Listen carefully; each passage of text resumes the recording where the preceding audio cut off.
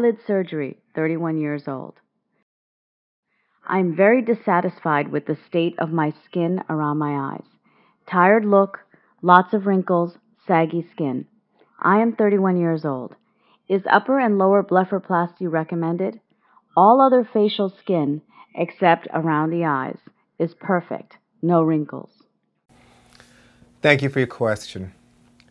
You're 31 years old and you are concerned about the appearance of fine lines and wrinkles around your eyes, and you're asking whether or not blepharoplasty is an option. Well, as a cosmetic oculofacial plastic and reconstructive surgeon, I deal with this, these types of concerns every day of my practice. So I can share with you a little bit about my approach on how I counsel my patients. First, you have to understand that wrinkles and excess skin are not always synonymous. In fact, blepharoplasty, a surgical procedure defined by removal of extra skin, of addressing fat pockets, uh, puffy uh, bags under the eyes as well as over the eyes, will not make a significant improvement when you're dealing with the textural quality of skin. So when I look at a patient, I look at a couple of things. First is their age and skin type. It's very well established that people who have Caucasian, lighter skin, for example, Irish descent, will have more accelerated aging of the skin manifested as fine lines and wrinkles compared to the age-matched, let's say, African American skin type. So that's one part of the equation, the genetics. Then when we look at the causes of wrinkles, in addition to genetics, we think of what is going on in the inside of the body as well as what is going on outside. So let me explain.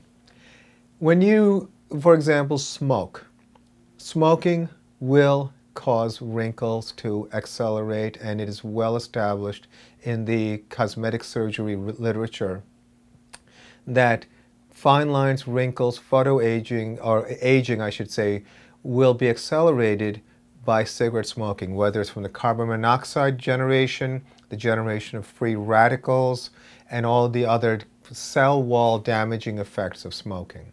So if you do smoke, consider stopping. Think about the environment.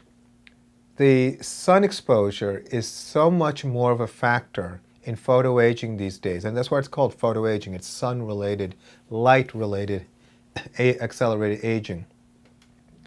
If you're spending a lot of time in the sun, or if you live in a place where there's a lot more incidental sun exposure, then you have to be mindful of always wearing sunblock and avoiding the sun as much as you can within reason.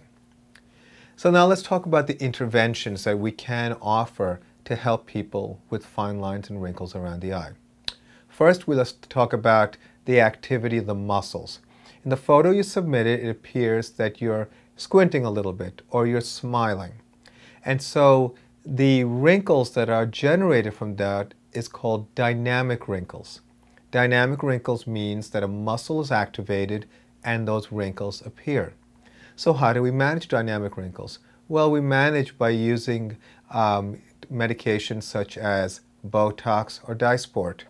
These are what's called neurotoxins that are injected directly into the muscle in a very specific way to minimize the activity of those muscles so that those wrinkles are less likely to form.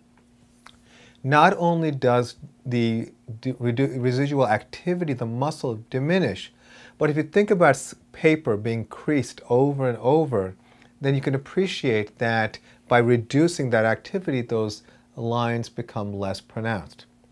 Now, when the, when the wrinkles are present at rest, those are called static wrinkles.